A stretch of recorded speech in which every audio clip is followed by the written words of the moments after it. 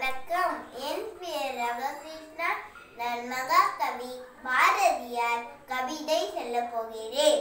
காக்கை சிறகினிலே நந்தலாலா நின்றன்.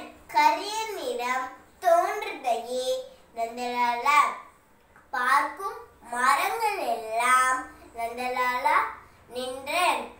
பச்சை நிறம் தோன்றுதையே நந்தலாலா கேட்கும் மொழிகள் எல்லாம் நந்தலாலா நின்ற கீத மிசக்குதடா நந்தலாலா தீக்குள் விருளி வைத்தாள். நந்தலாலா நின்னை தீண்டும் இன்பம் தோன்றுதடா. நந்தலாலா வந்தே மாதரம் வந்தே மாதரம் வந்தே மாதரம் நன்றி